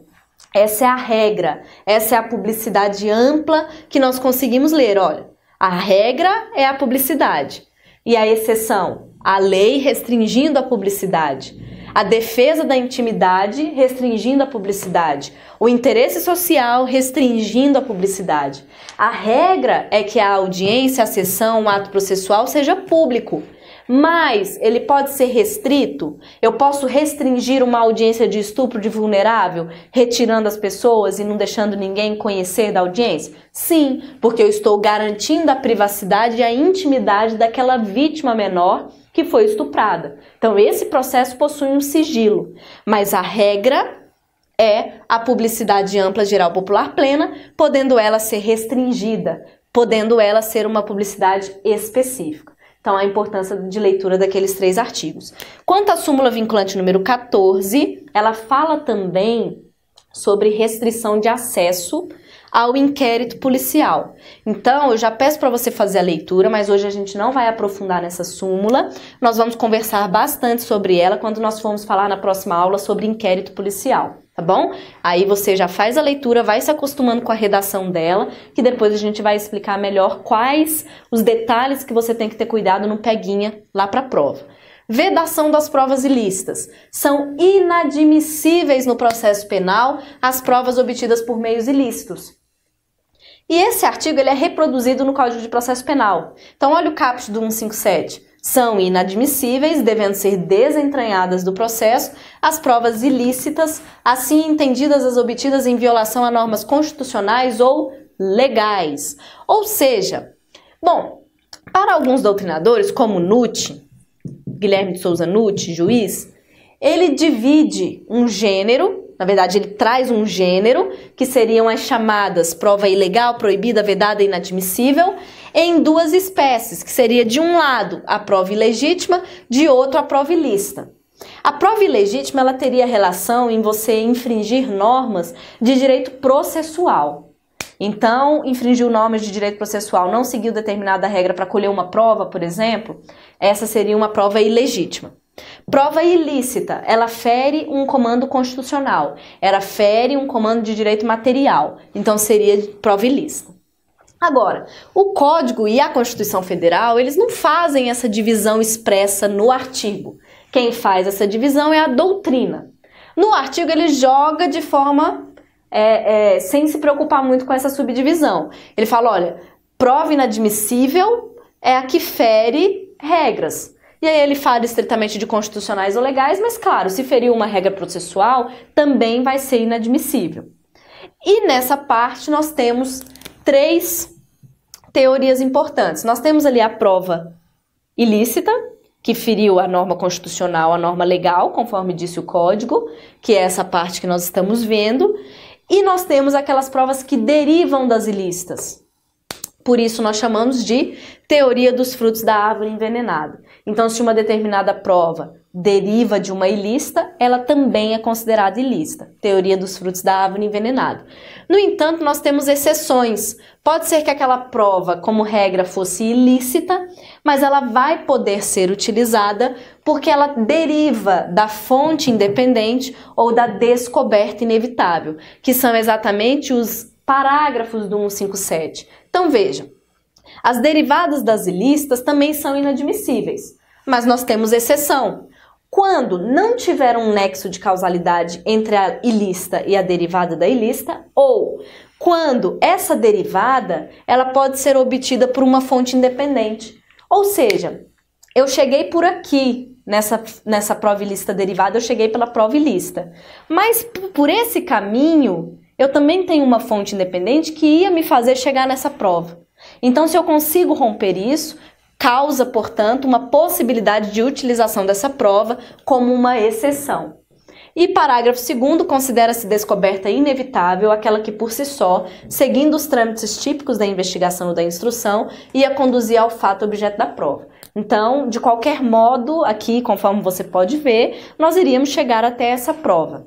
Então, não é porque ela é derivada dessa lista que ela não chegaria ao processo. De qualquer forma, ela chegaria ao processo. Portanto, ela vai poder ser utilizada. Então, muito cuidado. Prova ilícita, diferente de prova ilegítima, são espécies da prova inadmissível. Nós temos a teoria dos frutos da árvore envenenada, a teoria da fonte independente e a teoria da descoberta inevitável. Economia processual, celeridade processual, duração razoável do processo. Você vai ler esse artigo quando cobrado letra de lei. O próprio nome, a própria terminologia utilizada no princípio já nos diz o que, que ele está querendo dizer, né? Eu tenho que ter uma celeridade processual, não adianta eu instruir esse furto por cinco anos, não faz muito sentido. O processo tem que ter uma duração razoável, o processo tem que ser celere, tem que ter também uma economia processual. Tanto é ruim para o Estado ficar cinco anos com aquele aparato estatal para processar aquela pessoa, quanto para a pessoa também é ruim. Ela, por cinco anos, saber que tem um processo nas costas dela que não é arquivado, que não é absolvido, que não é resolvido. Então, tem que ter uma duração razoável do processo, uma celeridade processual. Mas durante esse processo, tem que ter o devido processo legal. Tudo que nós estamos falando sobre princípios, sobre regras que serão aplicáveis, nas próximas aulas, quando a gente falar de todo o processo, tudo isso tem que ser seguido da forma devida, tanto quanto estabelecida na legislação, Código de Processo Penal ou legislação extravagante, ou quanto aquilo que está determinado pela Constituição Federal. Então há um devido processo legal. Por fim, intranscendência ou, in, ou pessoalidade. O processo penal ele é instaurado em face daquele que praticou o delito. Então, o Pedro praticou o furto, o Pedro vai ser acusado, o Pedro vai ser processado. Somente o Pedro que pode ser condenado. Ah, o Pedro foi condenado a cumprir dois anos de reclusão. É o Pedro que vai cumprir a pena? É o Pedro, não tem possibilidade da mãe do Pedro querer cumprir a pena para ele. Então há um princípio da pessoalidade, da intranscendência. Aquela pessoa que foi condenada é somente ela que cumpre aquela pena. Claro que no âmbito civil é diferente. Nós temos a figura do responsável civil lá. No âmbito civil, de pagamento lá, é de determinada indenização, ressarcimento, vai poder atingir a herança do agente. Mas aí é outra coisa. No âmbito penal, de cumprimento de pena desse processo penal, que foi seguido e que se chegou até o final, essa pena somente pode ser cumprida por quem foi condenado. E quem foi condenado é a pessoa que efetivamente praticou aquele delito. Terminamos os princípios constitucionais expressos. Nós avançamos agora para os princípios constitucionais implícitos no processo penal. Nós temos um primeiro, não autoincriminação, depois iniciativa das partes ou correlação entre a acusação e a sentença, duplo grau de jurisdição, juiz imparcial, promotor natural, obrigatoriedade da ação penal pública e indisponibilidade da ação penal pública, oficialidade, oficiosidade, autoritariedade e a vedação, a dupla punição, o nebis in Não autoincriminação. O Estado, ele é infinitamente superior ao réu. Nós vimos.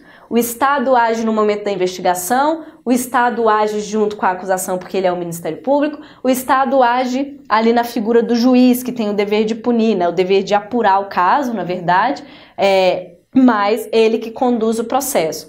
E o réu? O réu está lá, o réu e a defesa. Então, se o Estado já é infinitamente maior e já tem todo esse aparato para apurar e acusar o réu, por que, que a gente iria exigir que o réu também se autoincriminasse? Então, não. Uma não autoincriminação. Ele não precisa se autoincriminar. Iniciativa das partes e correlação entre a acusação e a sentença.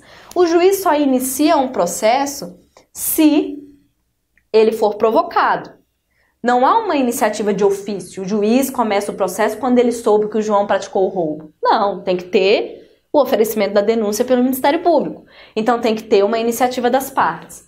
E com relação a essa iniciativa das partes, nós temos a correlação dessa acusação que foi apresentada pelo Ministério Público ou pelo querelante na ação penal privada com a sentença que está sendo proferida pelo juiz. Então, aquele fato que foi imputado ao réu na inicial acusatória tem que ter correlação com a sentença. Claro que eu não disse capitulação, porque, na verdade, pelo artigo 383 do Código de Processo Penal, a capitulação pode ser alterada. Os fatos que não podem ser alterados, porque o réu se defende dos fatos. E aí, sobre os institutos da emendatio libelli e da mutatio libelli, você pode ler o 383 e 384, mas lá na nossa aula de sentença a gente vai aprofundar esse tema. Duplo grau de jurisdição. O duplo grau de jurisdição, muita gente acha que está de forma expressa na Constituição, mas não está. É um princípio constitucional implícito aplicável ao processo penal. Então, eu estou reexaminando a causa, decorre da própria estrutura do Poder Judiciário, como hoje nós já é, conversamos, eu, Lorena, proferiu uma sentença de roubo e o tribunal, na sua turma, está analisando essa sentença que foi proferida porque houve um recurso da defesa. Então, decorre exatamente da estrutura do Poder Judiciário, da resignação natural daquela parte que não gostou da sentença que eu proferi. E decorre também da minha falibilidade humana. Eu posso errar, então tem alguém para corrigir o meu erro, que seria o tribunal. apesar de não estar assegurado de modo expresso na Constituição, e sim de modo implícito, nós conseguimos retirar o seu fundamento também da Convenção Interamericana de Direitos Humanos, que é o Pacto São José da Costa Rica. Então, ele possui ali, claro, um, um, um, fundamento importante, que é em Tratado de Direito Internacional, mas de forma específica na Constituição Federal ele não está. Por isso que ele é implícito. Juiz imparcial nós falamos do juiz natural. Mas lá naquele momento eu falei que além do juiz ser natural, que não ser um de exceção nem arbitrário, ele tem que ser imparcial. Eu não posso ter nenhuma causa de impedimento ou de suspeição desse juiz. E aí a suspeição nós encontramos no 254, que você tem que conhecer, e o impedimento nós encontramos no 252, que você também tem que conhecer. Numa próxima aula, quando a gente falar de sujeitos processuais, nós vamos entrar em detalhes sobre cada um desses artigos. Promotor natural vai bem do que a gente conversou sobre o juiz natural. Muitos defendem a aplicação do promotor natural também no âmbito do Ministério Público. Então, se houve ali um delito praticado, não poderia falar assim: ah, vamos designar o promotor mais bravo, firme, rígido que nós temos aqui no âmbito do MP. Não pode. O MP já tem a estrutura dele estabelecida também, com as atribuições de cada promotoria, com cada promotor atuando em cada promotoria, então também deve ser observado o promotor natural obrigatoriedade e indisponibilidade da ação penal pública. Também decorre da Constituição Federal. Porque nós retiramos, principalmente lá dos artigos 129 da Constituição, que fala sobre as atribuições do Ministério Público, exatamente um dever imposto ao Ministério Público de que, se há materialidade indígena de autoria daquele delito, como regra, ele vai denunciar. Há um princípio da obrigatoriedade da ação penal pública. E há também a indisponibilidade. Não pode o Ministério Público, por exemplo, durante uma ação penal por roubo, dizer assim: ah, não quero mais, está me dando muito trabalho esse processo, quero desistir do processo. O Ministério Público pode desistir de uma ação penal? Também não. Então, obrigatoriedade e indisponibilidade da ação penal. Nós falaremos na aula de ação penal sobre discricionariedade regrada, que são relativizações a esses princípios. Nós falaremos sobre ação penal privada, em que não se aplica obrigatoriedade e sim conveniência e oportunidade, e não se aplica indisponibilidade, mas sim disponibilidade da ação penal. Então é diferente, tá? Então isso daqui a gente vai aprofundar também na nossa aula de ação penal. Oficialidade, porque a atividade persecutória é realizada por órgãos oficiais do Estado. Na fase da investigação, nós temos o delegado de polícia, na fase da acusação, no processo, nós temos o Ministério Público. Oficiosidade, porque as autoridades públicas incumbidas dessa persecução penal, elas podem agir de ofício, o delegado, muitas vezes, ele pode instaurar um inquérito de ofício. A gente vai ver as formas de instauração de inquérito na próxima aula. Assim como o Ministério Público, ele pode oferecer a denúncia dele sem ser provocado. Ele fez uma investigação ali interna no âmbito do Ministério Público, ele recebeu os documentos pela vítima, ele próprio ofereceu a denúncia. Então, essas autoridades públicas agem de ofício. Claro que o juiz não, o juiz vai ser provocado, porque ele é uma parte imparcial. Mas as demais, o Ministério Público, a polícia, pode investigar de ofício? Pode. Ok? Então, há de regra uma oficiosidade. Vamos encerrar o nosso bloco. A gente volta daqui a pouco para continuar conversando. Tá bom, gente? Até daqui a pouco. Bom, gente, voltando, vamos continuar os nossos princípios. A autoritariedade. Os órgãos investigantes e que processam são autoridades públicas. O delegado de polícia é uma autoridade pública concursada, o Ministério Público é uma autoridade pública concursada. Claro que esse princípio não se aplica à ação penal privada, porque ali nós estamos no âmbito é, privado, como o próprio nome já diz. É o advogado propondo oferecendo a queixa-crime diante, por exemplo, daquela injúria que ocorreu. Então, é um raciocínio diferente e vedação da dupla punição. Claro que a pessoa ela não pode ser processada e punida duas vezes pelo mesmo fato que ela cometeu. Então, se ocorreu roubo, vai ter um processo para aquele roubo, aquele fato vai ser analisado uma vez. Não podem ter dois processos para analisar aquele roubo por dois juízes diferentes. Então, proibição, vedação da dupla punição. Por fim, princípios do processo penal propriamente ditos: busca da verdade real, oralidade, que vem junto outros princípios importantes, como da concentração, imediatidade, identidade física do juiz, indivisibilidade da ação penal privada, comunhão de provas, impulso oficial, livre convencimento motivado e lealdade processual. Verdade real é um princípio propriamente do processo penal. No processo penal, vigora a verdade real porque a gente busca ao máximo ver o que de fato ocorreu naquele caso. Até porque a consequência é grave. É condenar aquela pessoa, é aplicar a pena. Então, como prevalece direitos indisponíveis, eu tenho que a todo momento buscar essa verdade que realmente ocorreu. Claro que é impossível a gente saber exatamente o que aconteceu naquela hora. Porque a gente depende do relato de pessoas que podem esquecer detalhes, não estava ali no momento, muitas vezes não tem filmagem, não tem outros elementos de prova. Mas a gente busca ao máximo a chamada verdade real ou material.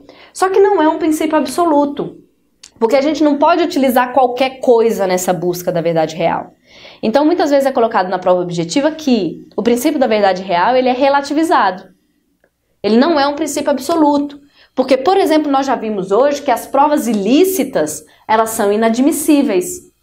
Se elas são inadmissíveis, então eu não posso usar a prova ilícita, então a verdade real pode não ser alcançada, porque eu não vou usar. Então não é um princípio absoluto, não significa que eu posso usar qualquer coisa. Na audiência, no procedimento, quais os princípios regentes e importantíssimos para o processo penal que vieram principalmente com a alteração em 2008. Oralidade. A gente vai conversar na fase da instrução processual e ver que, como regra, os atos são produzidos de, de forma oral. As partes são ouvidas oralmente, as alegações finais são apresentadas de forma oral, os atos processuais são registrados em sistema audiovisual. Então, oralidade. Concentração. A gente vai ver que, como regra, a gente tenta realizar os atos processuais de forma concentrada em uma audiência. Claro que não é absoluto, claro que muitas vezes é preciso cindir a audiência e não haverá essa concentração dos atos. Imediatidade é o magistrado que tem um contato direto com aquela prova que está colhendo. E exatamente em relação com isso, nós temos a identidade física do juiz, que hoje é expressa no processo penal. Artigo 399, parágrafo 2. Quem processou, em regra, julga. Tem exceções? Claro que sim.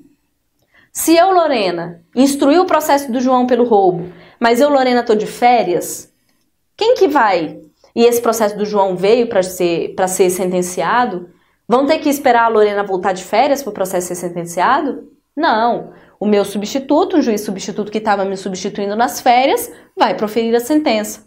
Ah, eu sou Lorena, eu atuava na vara criminal, instruí vários processos, mas agora eu fui promovida para uma vara criminal lá na capital.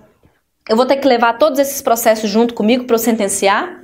Não, o substituto que titularizou lá na minha vara, ele vai proferir a sentença. Ah, eu, Lorena, vou ser desembargadora agora, fui promovida eu vou ter que sentenciar os processos que eu deixei na minha vara quando eu era juíza de primeira instância, ou de primeiro grau, mas em outra entrância, por exemplo? Não. Tem outro substituto. Então, claro que há exceções. Não é instruir vai ter que julgar. Não, tem algumas relativizações. Mas a regra é o princípio da identidade física do juiz. Indivisibilidade da ação penal. Na para a jurisprudência, a indivisibilidade é aplicável apenas na ação penal privada. O ofendido, ou seja, se eu fui vítima de injúria, João e Pedro me injuriaram, no momento que eu vou processar oferecendo a queixa-crime, eu não posso escolher. Ah, eu quero processar só o João, eu quero processar só o Pedro. Não. Se eu for processar, eu tenho que processar os dois, porque os dois me injuriaram. Perfeito? Então incide a indivisibilidade da ação penal privada conforme a jurisprudência. apenas na ação penal privada. Na ação penal pública é outro raciocínio, a gente vai estudar na nossa aula, daqui duas aulas. Comunhão de provas. Tudo bem, pode ser que a defesa pediu a produção de determinada prova que foi produzida pelo juiz. Mas uma vez juntada essa prova no processo, essa prova é do processo. Então há uma comunhão. Todos podem conhecer da prova, todos podem se manifestar sobre aquela prova. Uma vez produzida, pertence ao processo e pode ser utilizada pelas outras partes. Então, o Ministério Público, achando que aquele depoimento, aquela prova que foi produzida pela defesa, também é válido para demonstrar a acusação, ele também pode se valer daquela prova. Então, uma vez produzida, pode ser utilizada por todos. Impulso oficial. Uma vez iniciada a ação penal, o juiz tem o dever de promover o seu andamento até a sua etapa final. Claro que ele deve ser provocado, porque ele não inicia a ação penal sozinho. Tem a denúncia, tem a queixa-crime. Mas uma vez apresentada a denúncia para seguir todo o procedimento, o juiz faz de ofício, dá impulso oficial. Ele não precisa ficar esperando que o Ministério Público peça para marcar audiência. Não. Se o próximo ato é marcar a audiência de instrução e julgamento, o juiz vai dar impulso oficial e vai marcar a audiência de instrução e julgamento. Livre convencimento motivado. Nós vamos ver lá na aula de provas alguns sistemas de avaliação da prova. Aqui prevalece é o livre convencimento motivado que está na Constituição e no Código. O juiz ele forma o convencimento dele de forma livre, mas na hora dele decidir ele tem que motivar. Então ele não pode simplesmente dizer quero condenar e não dar as suas razões. Ele pode condenar o réu, mas aí ele vai explicar o porquê que ele vai condenar. Uma das exceções que nós temos é no tribunal do júri, quando nós falamos do conselho de sentença dos sete jurados. Porque lá no tribunal do júri é a íntima convicção. Íntima convicção. O jurado, sim, lá na sala secreta, votando no conselho de sentença, eles têm duas cédulas, uma sim, outra não. Eles precisam justificar o porquê escolheu sim ou não? Íntima convicção. Não há que motivar o porquê ele decidiu daquela forma. Peço para você dar uma lida no artigo 156 do CPP, que fala de uma atividade instrutória do juiz de ofício, e peço para você dar uma lida nas exceções a essa motivação. Nós já falamos de uma delas, que é do conselho de sentença. A outra são os despachos de, despachos de mero expediente. Então, por exemplo, se eu vou marcar uma audiência, eu não preciso motivar o porquê que eu vou marcar uma audiência. É um despacho de mero expediente. Designe-se data para audiência de instrução e julgamento. Espeça-se mandado de intimação. Desse vista dos autos ao Ministério Público. Então não há motivação nesses despachos que dão andamento e que não possuem cunho decisório. E outro no recebimento da denúncia. Se eu estou no procedimento e vou receber a denúncia, de regra, eu não tenho que motivar o porquê que eu recebi a denúncia. A gente ainda vai falar isso em outras aulas, mas já ficam as atenções com relação às exceções desse princípio da motivação das decisões judiciais. Lealdade processual, as partes possuem o dever da verdade, vedando-se o emprego de meios fraudulentos, até porque nós temos um tipo penal, provavelmente você já tem estudado, o artigo 347 do Código Penal. E identidade física do juiz nós já conversamos a respeito do 399, parágrafo 2. Saindo um pouquinho de princípios, a gente entraria agora na parte de aplicação da lei processual penal. Eu vou fazer um pequeno parêntese, só porque não constou no nosso plano de ensino, a questão dos sistemas do processo penal. Que nós temos o sistema inquisitivo, o acusatório e o misto. Claro que nós aplicamos como regra o acusatório, alguns defendem que na verdade nós adotamos o misto, mas o importante é nós sabermos as diferenciações, as características relativas a cada um desses sistemas. No inquisitivo, nós temos a concentração de poderes. Uma mesma pessoa acusa e julga. Nós temos uma, um sistema de avaliação de provas que tarifa as provas. Por exemplo, a confissão seria a principal prova, a rainha das provas. Nós temos uma predominância de procedimentos escritos, então esse princípio, por exemplo, da oralidade que a gente aplica, não seria aplicável no sistema inquisitivo. Os julgadores não estão sujeitos à recusa. Não há aquela possibilidade de impedimento do 2, 252, suspeição do 254. Nós temos um procedimento sigiloso e não público, como é a nossa regra. Nós não temos contraditório e ampla defesa e nós temos um impulso oficial e uma liberdade total processual. Essas são as características de um sistema inquisitivo. No sistema acusatório, que é o que adotamos, veja, há uma separação entre órgão da acusação e, julga e do julgamento. Então nós temos a figura do Ministério Público, nós temos a figura do juiz, é diferente. Nós temos uma liberdade de acusação, nós temos uma oralidade nos procedimentos, nós inclusive vimos esse princípio.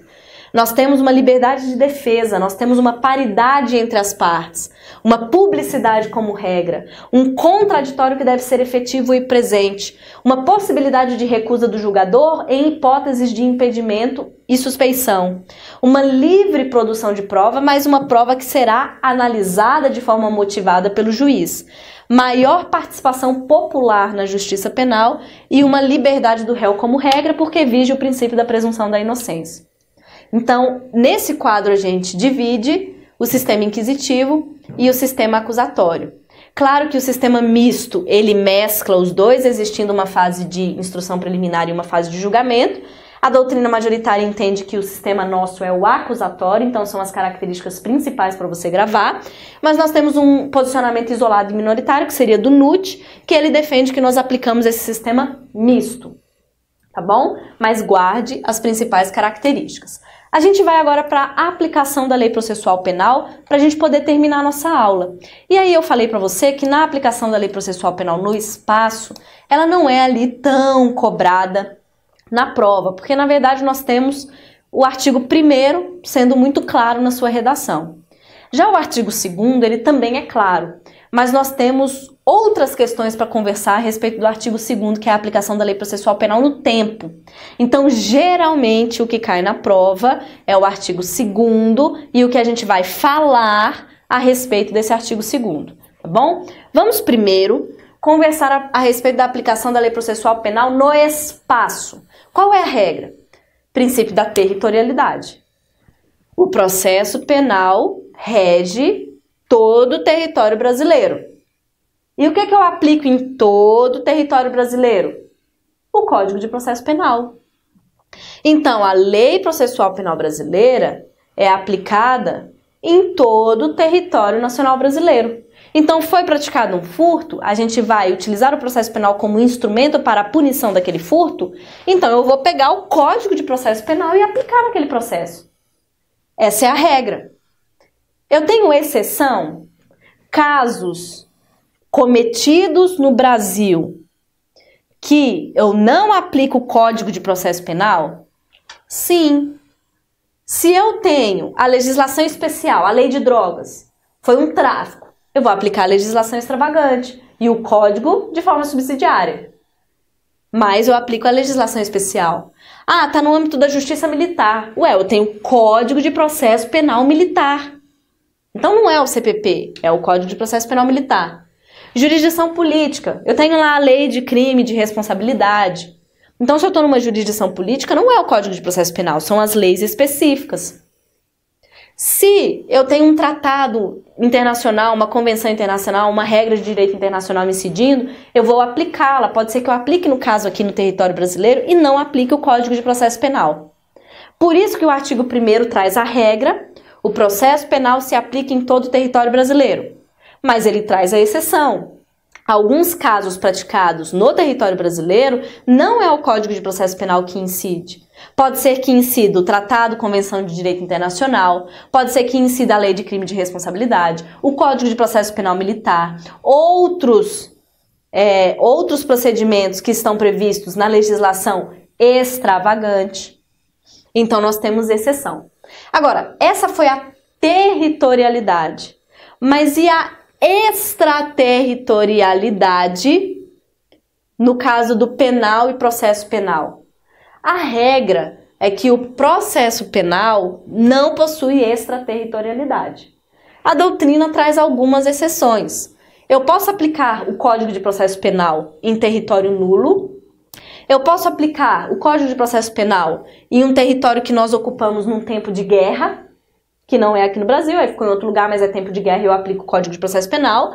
Ou tá lá em outro país, Esse outro país vai realizar um ato processual lá e esse outro país autorizou que esse ato processual fosse realizado de acordo com as normas da nossa lei processual penal brasileira. Então são exceções, mas de regra nós não possuímos extraterritorialidade, bom? Quanto à aplicação da lei processual penal no espaço, é só isso. Por isso que geralmente ela não cai em prova, não é uma coisa difícil, palpável e boa para o examinador cobrar. Agora, aplicação da lei processual penal no tempo.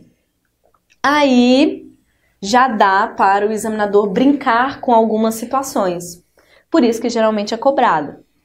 No artigo 2 nós temos assim: a lei processual penal aplicar-se-á desde logo, sem prejuízo da validade dos atos realizados sobre a vigência da lei anterior.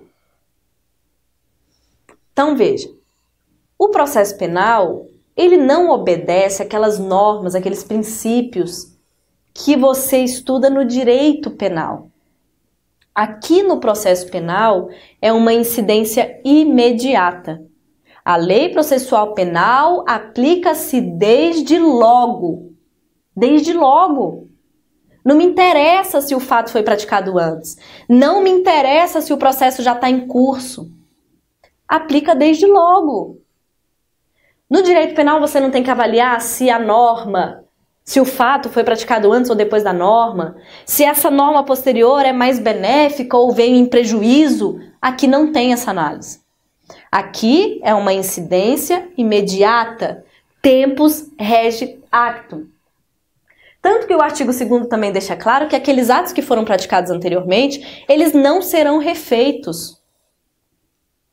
Então, se até ontem estavam produzindo os atos processuais penais sobre a vigência da lei de ontem, tá tudo certo. Hoje que tá com a nova lei, a gente vai produzir de acordo com a nova lei. Mas tá tudo válido. Não precisa ser refeito de acordo com a nova lei. Não precisa ser convalidado de acordo com a nova lei. Não, tá tudo válido. Por isso, importante previsão do artigo 2 por isso, quando a gente fala de sistemas processuais penais, nesse momento da aplicação da lei processual penal, a gente fala que vige, que rege o sistema do isolamento dos atos processuais penais. Então, o artigo 2 vem com o sistema do isolamento dos atos processuais penais. Eu enxergo o processo penal como uma série de pequenos atos concatenados que formam todo o procedimento. Exatamente por isso que no momento de vir outra lei, ele já incide de imediato, porque eu já terminei aquele outro ato. Eu estou indo para o próximo, então incide a lei. Se eu enxergasse e aplicasse o princípio da unidade processual, eu só poderia aplicar a nova lei quando terminasse aquele processo, porque se eu enxergo ele como um só, uma nova lei não podia entrar nele. Eu ia terminar aquele processo de acordo com aquela lei que ele começou mas não é esse o sistema adotado. Assim como da, o das fases processuais, eu teria que terminar aquela determinada fase de acordo com aquela lei de quando começou a fase. Então eu tenho ali, por exemplo, uma fase inicial, uma fase instrutória, uma fase de julgamento, uma fase de recurso. Comecei a fase de instrução com uma determinada lei. Aí, no segundo dia que a gente já estava na instrução, veio uma nova lei. Eu já posso incidir nessa fase da instrução? Eu não poderia. Eu teria que terminar essa fase da instrução de acordo com a lei anterior, porque eu enxergo o sistema dividido em fases. Mas não é assim. O nosso sistema adotado é o do isolamento dos atos processuais e não unidade, não fases processuais. E no caso de normas processuais penais mistas, materiais, híbridas? Veja, ela é mista, ela é híbrida, mistura. Mistura o que, professora? Mistura uma norma de direito penal e mistura uma norma de direito processual penal.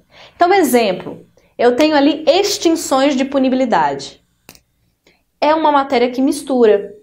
Porque eu tenho conteúdo de direito processual penal, então se você abrir diversos artigos do Código de Processo Penal falam sobre extinção de punibilidade, sobre decadência, sobre renúncia, sobre morte.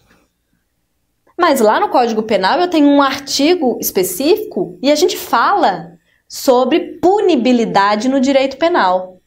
Então, é um tema que perspassa tanto o direito penal quanto o direito processual penal. O que fazer com uma lei que modifica uma extinção de punibilidade, por exemplo? Eu adoto os princípios do direito penal ou eu adoto o artigo 2 do Código de Processo Penal incidindo imediatamente? Corrente minoritária. Exemplo: Távora, Nestor Távora, diz que deveria cindir a norma a parte penal aplica os princípios penais, a parte processual penal aplica-se de imediato. Mas às vezes essa análise não é fácil na prática. Então, a doutrina majoritária entende que essa norma híbrida deve ser enxergada como uma só, mas o critério que vai prevalecer é o do direito penal. Então, se ela, por exemplo, é em prejuízo ao réu, não vai poder retroagir. Não vai poder ser aplicada a um fato anterior. Não vai poder incidir imediatamente ao processo. Mas o importante de você gravar é, se tem uma norma processual penal mista material, processual penal material, norma mista, norma híbrida, vai prevalecer o critério de direito penal e não haverá cisão da norma. Por fim, leia para mim o artigo terceiro da Lei de Introdução ao Código de Processo Penal, que ela traz uma exceção. Quando o prazo está em curso. E aí ela fala até do prazo de, por exemplo, é, recurso. Vamos supor que aqui na nossa lei anterior, o nosso prazo de recurso é de 10 dias. Então nós temos lá 10 dias de recurso, tá bom? Aí vem a lei B, bem aqui no meio, bem aqui, sei lá, no quarto dia, e diminui para cinco dias o prazo do recurso. Aí a defesa estava lá no processo, incidindo a lei A, que eram 10 dias, a defesa esperou. Estava lá no quarto dia preparando o recurso, para depois interpor já aqui no final do prazo, já que são 10 dias.